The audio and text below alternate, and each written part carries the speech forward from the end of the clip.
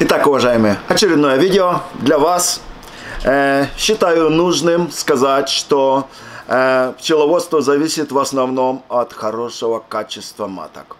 Все, кто э, пренебрегают этим э, направлением, имеют слабые, малопродуктивные семьи.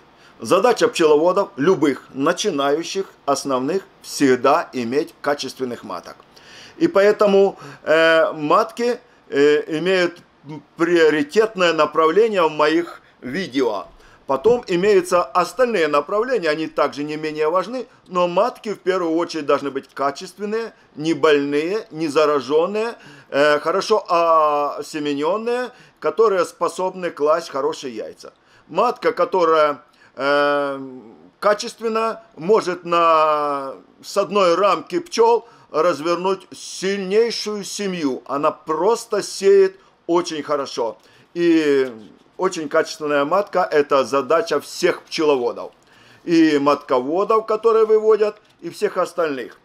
Что интересно, хочу отметить очень интересная информация, которая подмечена многими пчеловодами – что матки даже, которые выводятся одновременно и одинокого вроде бы качества, искусственно на прививочную рамочку ложатся однодневные яички, и, то есть все положено вроде бы все правильно, все правильно.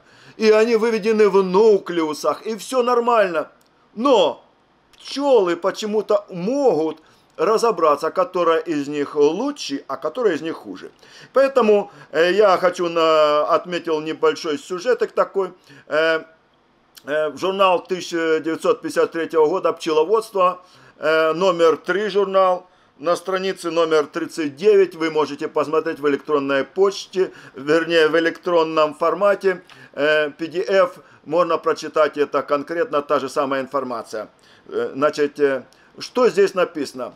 Когда подсаживали матки, э, в начале страницы написано, э, то матки были одного возраста. И все плодные, и когда их подсаживают, э, произвели такой эксперимент. На глаз пчеловода как будто одинаковые по-разному принимаются пчелами. Например, если обезматоченную семью поставить в клеточках без корма несколько одинаковых по возрасту и прочим внешним признакам маток, то пчелы облюбовывают только некоторых из них, и, и лишь их клеточки обсиживают особенно охотно. Нам приходилось также наблюдать, что нормальная семья, в которую временно поместили вторую матку клеточки, уничтожила свою матку. Итак, друзья, обратите внимание на этот случай. Естественно, я тоже занимался э, и в этом году показывал различные выводы даже молодых неплодных маток, и, которые я наклевал колпачками. И в итоге я смотрел, возле одного колпачка море пчел окружили, обступили, а возле другого колпачка немножечко. То есть э, пчелы умеют различать э, качество маток. Поэтому этот... Э, э, так сказать, э, э, эту ситуацию, это действие пчел надо взять на вооружение всем пчеловодам. Это очень важная информация. Ту матку, которую любят пчелы, они обязательно ее очень усиленно э, кормят, ухаживают за ней, э, по-украински говорят, кахают, то есть любви, обильное отношение такая матка очень хорошо развивается и особо э, хорошо стережется всеми пчелами, то есть сохраняется. Поэтому, друзья, обратите внимание, пчеловоды, как правило, продают всех маток, которые вывелись. Ну, это бизнес все-таки. Но те пчеловоды, которые возьмут во внимание, как выводить маток, и я особенно ставлю упор на то, что каждый пчеловод, любитель, бизнесмен должен уметь различать качественных маток, а что особенно дает, ну, как говорится, стопроцентный успех то ли любительского дела, то ли бизнесского дела. То есть, что бы вы ни делали, это все равно вам нужно всем пчеловодам, и начинающим, и не начинающим. Поэтому я стараюсь подать эту информацию, ту, которая дает качественный, э, так сказать, обзор всего вывода маток.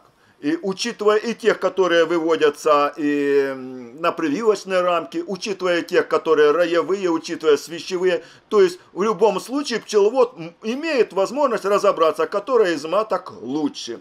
Итак, друзья, значит, вот этот метод позволяет разобраться, какая из маток лучше. Теперь мы посмотрим, чем делятся нам пчеловоды. Прочитаем э, из журнала э, из наблюдений пчеловодов. Весьма и весьма интересная информация, друзья. Обратите внимание, все те, которые не, э, не принимают во внимание опыт других пчеловодов, они просто наступают на те же самые грабли и начинают по новой изобретать велосипед. Советую всегда э, э, брать во внимание то, что уже прошло. Вам будет легче развиваться и не повторять тех самых ошибок, и не тратить напрасно время, вот, э, на протяжении всей своей жизни, экспериментируя те же самые опыты, которые проходили 50, 60 или 70 лет. Поэтому советую всем внимательно выслушивать каждое видео и внимательно исследовать э, э, на интернете, прочитывая старые книги. Если вы положите это в основу вашего э, воспитания по пчеловодному направлению, то вы будете иметь успех стопроцентный что я и делаю постоянно, э, исследую, прочитываю различные книги, и чтобы повысить свой уровень эм, э, развития по пчеловодству. Итак, сегодня я прочитаю вам из наблюдений пчеловода интересное высказывание пчеловодов. Это журнал 1956 год, номер один.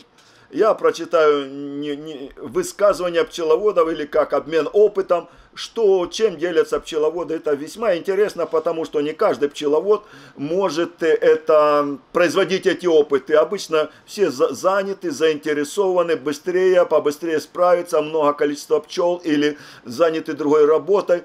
То есть это как бы и научная работа, и наблюдательская работа, и не у всех есть способность быть очень наблюдательными. Итак, читаем. Э,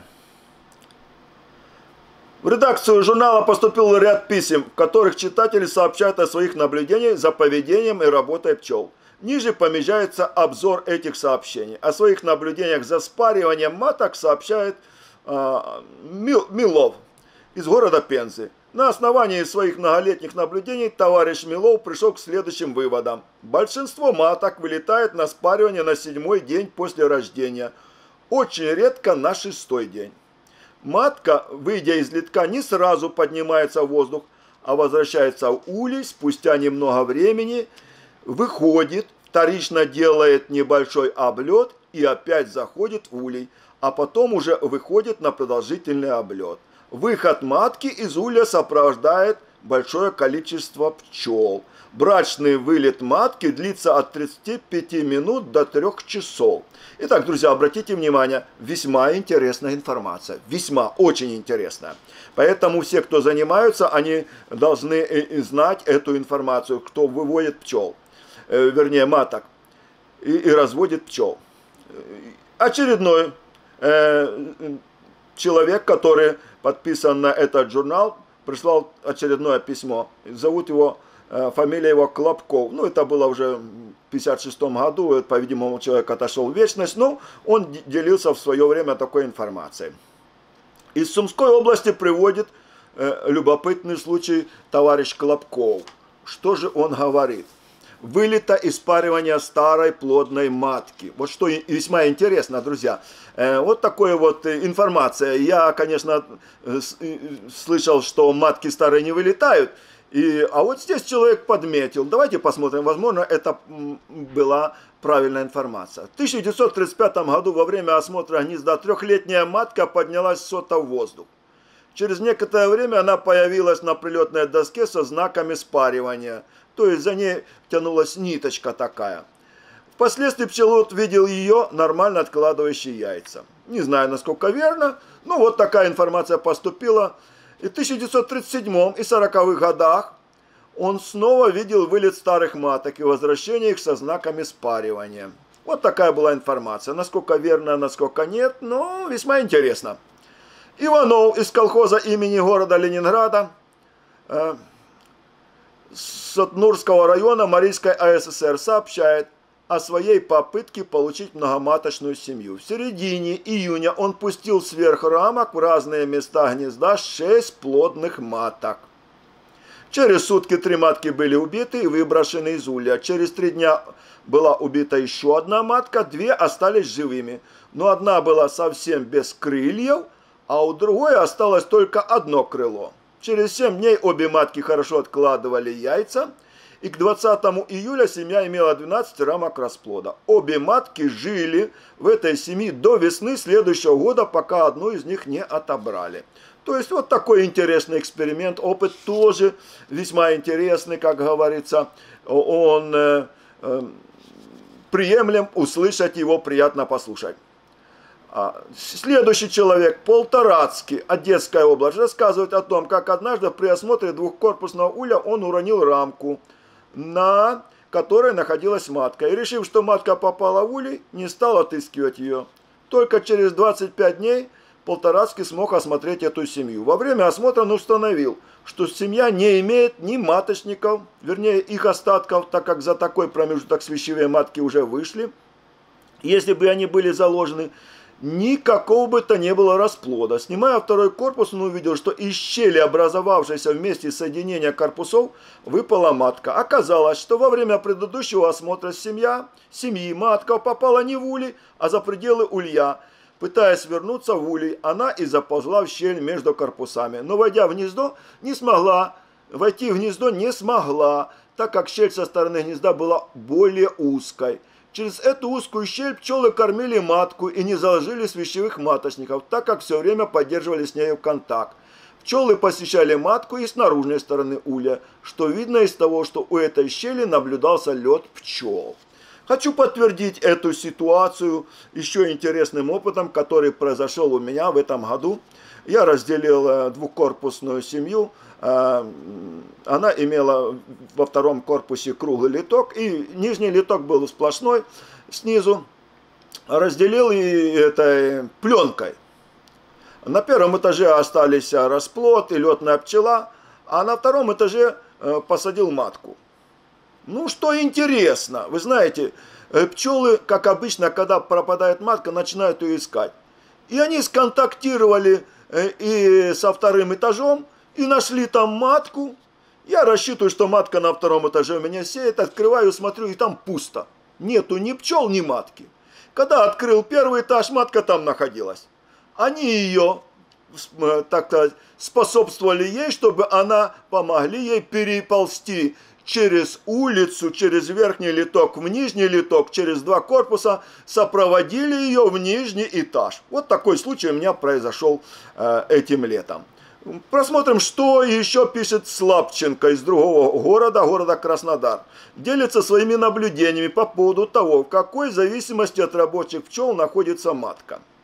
В августе беззяточное время, когда почти все матки на пасеке прекратили я... Э, кладку яиц, Слабченко в одной из семей наблюдал, как в верхнем углу сота пчелы окружили матку, направив головки к ней.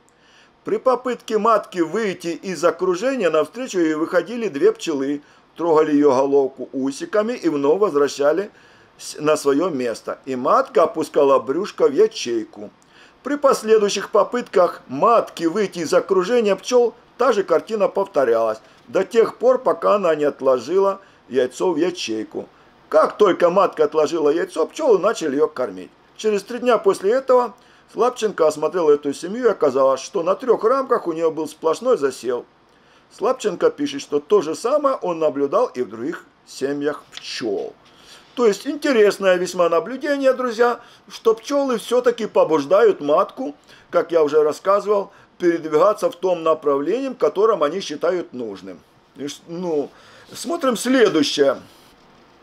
А, Гонзарь Село Майка, Горно-Алтайской области, рассказывает, что Рой, поселившийся в междуэтажном перекрытии двухэтажного дома, энергично работал до конца сезона и перезимовал там.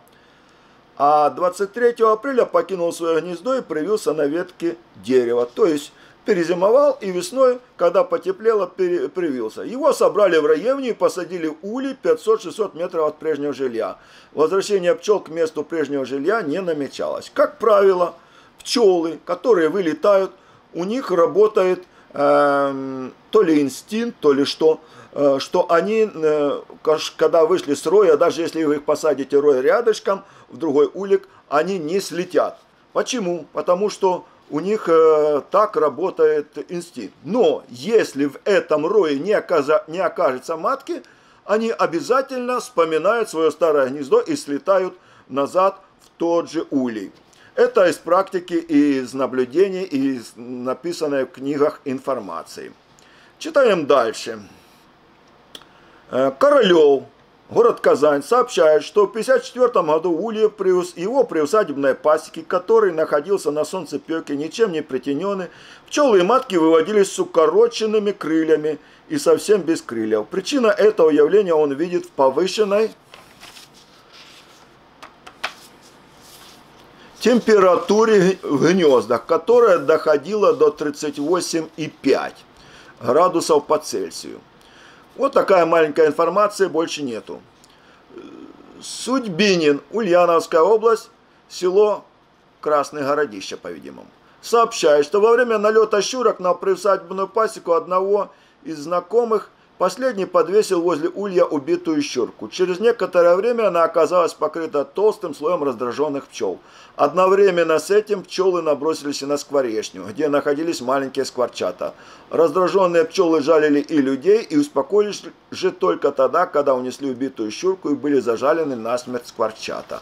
То есть вот такой эксперимент тоже производился, друзья. И то есть пчелы знают, кто их враги и вредители, и, э, так сказать, в защите они могут даже пожалить всех окружающих. Шишкин, город Баку, описывает наблюдение за поведением пчел. Он пишет, что в июле перед дождем пчелы внезапно прекращают работу и усиленно облетываются. Преждевременное наступление холодов и зимы, по его мнению, можно определить по более раннему прополисованию гнезда и переносу пчелами меда в средние соты гнезда. В том случае, если источник взятка находится близко от пасеки, пчелы летят низко над землей. Если же источник взятка далеко, пчелы, вылетев из уля, сразу набирают большую высоту, а затем уже летят к источнику взятка. Вот такая информация. Вот, и поэтому все, кто имеет небольшой опыт хотя бы или большой опыт, немножко э, сориентируются э, в этом направлении, что это практически правильная информация. Основываясь на своих наблюдениях, пишет Богачев, э, станица Быкова, Московско-Рязанская железная дорога, станция Быкова. Вот. Основываясь на своих наблюдениях, утверждает, что пчелы собирают пать только в том случае, если в природе нет цветущих медоносов. И приводят пример, когда в парке, где стояла пасека, было очень много пади, но пчелы не брали ее и предпочитали летать за 1-1,5 километра на взяток с белого клевера и донника. Э, я хочу добавить по этому поводу э, информацию моего мнения, так сказать. Э, которую я прочитал и которую я имел, как говорится, с различных источников, что пчелы в первую очередь э, несут мед с повышенной сахаристостью. То есть Э, если сахара там меньше 20%, они даже не ощущают. Если вы дадите воду и растворите там 20% э, сахара, будет всего растворено, а 80% воды, они просто не ощущают. И, а выше уже они начинают, начинают ощущать этот сахаристость. И поэтому они в первую очередь пробуют. Если сахаристость, естественно, доника и клевера было белого выше – то пчелы не будут собирать пать, которая меньше сахаристость. Они берут то, что э, лучше и быстрее взять и качественнее. То есть, если вы пошли ловить рыбу, и у вас ловится рыба, э, допустим, осетер, то вы, естественно, не будете ловить там какую-то чепухневую простую рыбу или карпа, или еще, конечно, вы осетра возьмете в первую очередь. То же самое происходит и, происходит и с пчелами. Читаем дальше. Э, не помнящий село Бобровка, Восточно-Казахстанская область, описывает случай, когда у пчеловода-любителя в начале ноября одна из семей пчел, уже убранных в подполье, не имела никаких признаков жизни. Семья, семью внесли в дом, основная масса пчел находилась на дне улья, часть на сотах и в ячейках. У матки, находившейся на соте и окружавших ее пчел, были обнаружены признаки жизни. Меда в гнезде не было совершенно, в кавычках взято было, не было совершенно в кавычках. Пчел собрали в ведро, в комнате было тепло и начали оживили, а, а, и они начали оживать. А матка стала ползать. Подготовили улей с медовыми сотами, высыпали пчел из ведра, спрыснув их теплым медовым сиропом. Улей закрыли и оставили в комнате на 5 часов. Затем унесли обратно в подполье. Семья перезимовала, но весной была слабая. Матка откладывала яйца. То есть э, при желании можно сохранить семью, которая э, вы, ну, а, как говорится, пострадала от голода. Не от холода, а от голода. За, за техник Расюк э, деревня Галева Пинского района Брестской области сообщает об аналогичном случае, когда в феврале на пасеке государственного плодопитомника в Пинском районе была обнаружена семья, не подававшая признаков жизни. Семью унесли в дом, пчелы были мертвы, пишет Расюк, в кавычках мертвы. В гнезде не было ни грамма меда. Многие пчелы находились в ячейках в неподвижном состоянии. Здесь положение в феврале, друзья, обратите внимание. То есть обычно э, пчелы поедают по различным причинам. Раньше медок – то ли был засев поздний до конца, и они съели медок. И пчеловод рассчитывает, что меда хватит, но они и до конца весны не хватает, зимы не хватает. Всех пчел вместе с маткой, не подававшие признаки, жизни собрали в решето и поставили на печку. Ну, естественно, не поджаривать, а на теплую температуру.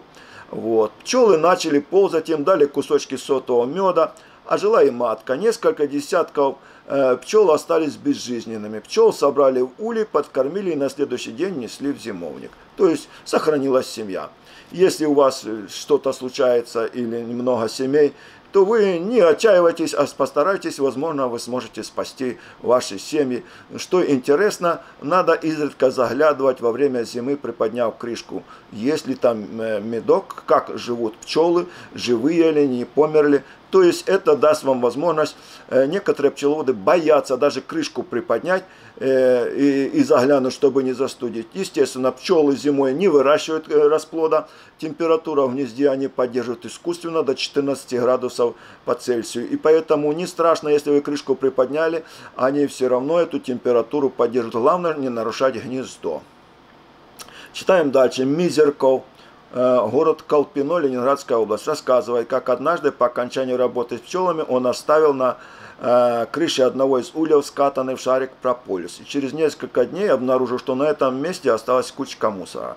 Решив, что шарик прополиса раскрывали птицы, он пытался установить, как, какие же именно, и стал наблюдать из окна пасечного домика. Не дождавшись птиц, он подошел к прополису ближе и увидел, что пчелы разрезают прополис, наполняют им корзиночки, несут улей. Мизерков пишет, что пчелы брали прополис только в жаркие дни при температуре 25-28 градусов по Цельсию.